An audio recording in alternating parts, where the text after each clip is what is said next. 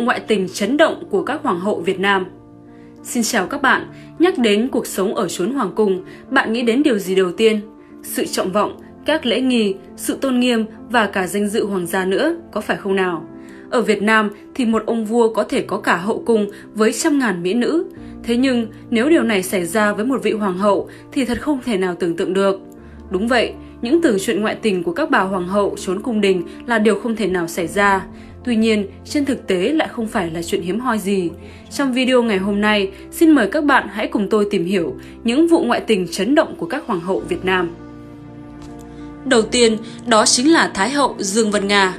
Bạn có ngạc nhiên khi nghe tên của nhân vật này lại xuất hiện trong video ngày hôm nay không? Lý do là bởi nhắc đến Thái hậu Dương Vân Nga, chúng ta thường nghe đến công lao của bà nhiều hơn.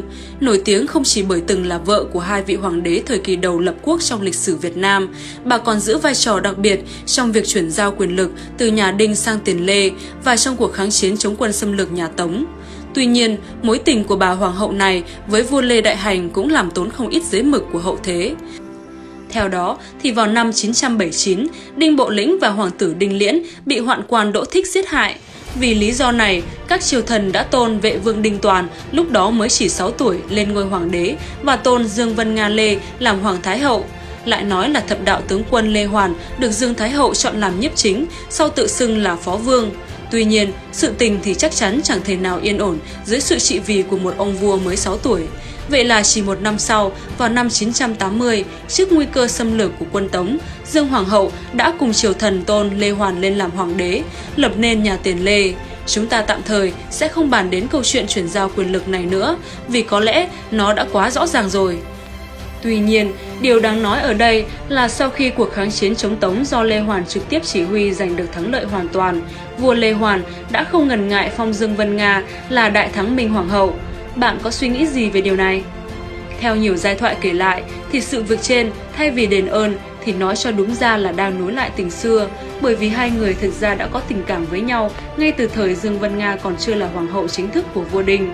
Chưa rõ mười mười sự thật ra sao, nhưng mà rõ ràng việc Dương Vân Nga từ thái hậu của nhà Đinh lại một chốc trở thành vợ của vua Lê đã bị các nhà nho và sử gia trước đây lên án rất gay gắt. Theo đó, sử thần Ngô Sĩ Liên trong Đại Việt Sử Ký Toàn Thư đã phê phán như sau. Đạo vợ chồng là đầu của nhân luân, dây mối của vương hóa. Hạ kinh của kinh dịch nêu quẻ hàm và quẻ hằng lên đầu là để tỏ cái ý lấy đàn bà tất phải chính đáng. Đại hành thông dâm với vợ vua đến chỗ nghiễm nhiên lập ra hoàng hậu, mất cả lòng biết hổ thẹn, đem cái thói ấy truyền cho đời sau, con mình bắt trước mà dâm dật đến nỗi mất cả nước. Há chẳng phải là mở đầu cho mối họa đó sao? Tuy nhiên, ấy chỉ là chuyện trong quá khứ, còn ở thời điểm hiện tại, các sử gia hiện đại đã có cái nhìn thông cảm hơn rất nhiều đối với Hoàng hậu Hai Triều Dương Vân Nga. Nhiều ý kiến cho rằng sự lựa chọn và quyết định của bà trong hoàn cảnh đất nước còn nhiều rối ren lúc bấy giờ là vô cùng sáng suốt. Thế nhưng, lịch sử thì vẫn là lịch sử, và trong mắt hậu thế, chuyện từ Thái hậu nhà Đinh bỗng chốc trở thành vợ của vua Lê, kể ra cũng thật là ngỡ ngàng, ngơ ngác đến bật ngửa phải không nào? Linh chiếu Thái Hậu, phóng túng một đời, tai tiếng ngàn đời. Cho những ai chưa biết, Linh Chiếu Hoàng Thái Hậu xuất thân cao quý, là con gái trưởng của Phụ Thiên Đại Vương, mẹ là Thụy Thánh Công Chúa, tổ phụ của bà là Trần Đăng Bảo Sở quan sát sứ họ Lê, cháu của ngự man Đại Vương Lê Long Đĩnh. Như vậy, dòng họ của bà là hậu duệ xa của Hoàng đế Lê Đại Hành, tổ mẫu thì là Ngọc Kiều Công Chúa, con gái của Phụng Càn Vương Lý Nhật Trung, được Lý Thánh Tông nhận là con gái nuôi. Bà được hậu thế biết đến nhiều hơn với vai trò là cảm thánh phu nhân của Lý Thần Tông. Trong quá khứ, bà thường được nhắc đến là người có vai trò quan trọng trong việc giúp con trai là Lý Anh Tông, tức là Lý Thiên Tộ, kế vị ngai vàng.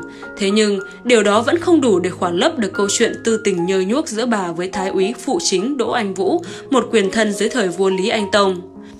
Theo đó thì vào năm 1138, Hoàng đế Lý Thần Tông băng hà, con trưởng của nhà vua và Lê Hoàng hậu là Lý Thiên Tộ khi đó mới 3 tuổi lên nối ngôi, lấy hiệu Lý Anh Tông. Vì vua còn quá nhỏ nên Lê Thái hậu buông rèm nhiếp chính. Dù vậy, đó chỉ là lớp vỏ bên ngoài, còn thực chất bên trong mọi việc chính sự lúc đó đều do Thái úy phụ chính Đỗ Anh Vũ một tay thu xếp và quyết định cả.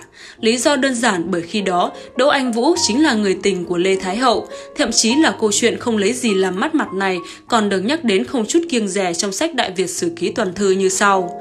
Đỗ Anh Vũ tư thông với Lê Thái Hậu, tức là mẫu hậu của Lê Anh Tông, và vì thế lại càng kiêu rồng. Ở triều đình thì khoát tay lớn tiếng, sai bảo quan lại thì hất hàm ra hiệu. Về vấn đề này, các quan trong triều đều tường tận, bực lắm nhưng mà chẳng ai nói gì. Quan điện tiền đô, chỉ huy sứ là Vũ Cát Đái, chức hỏa đầu đô Quảng Vũ là Lương Thượng Tá, chức quả đầu đô Ngọc Giai là Đông Lợi, chức nội thị thì là Đỗ Ất cùng với Chí Minh, Vương Bảo Ninh Hậu, Phò Mã Lan Dương tự mình cùng hợp mưu bắt giam anh Vũ. Bản tính xong, bọn đái đem quân lính đến ngoài cửa Việt Thành hô to. Anh Vũ thường đêm đêm vào phòng Thái Hậu làm nhiều điều cản rỡ ô uế, tiếng xấu đồn ra ngoài không tội gì to bằng, bọn thần xin sớm trừ đi để khỏi lo mối họa về sau. Thấy vậy, vua Lý Anh Tông bèn xuống chiếu sai cấm quân đến bắt anh Vũ. Anh Vũ bị đẩy đi làm ruộng ở vùng Cảo Xã, nay thuộc quận Từ Liêm, Hà Nội. Thế nhưng, đang có tình nhân kể cạnh sớm hôm, nay lại vắng mặt anh Vũ trong cung. Lê Thái Hậu tỏ rõ nỗi buồn lo.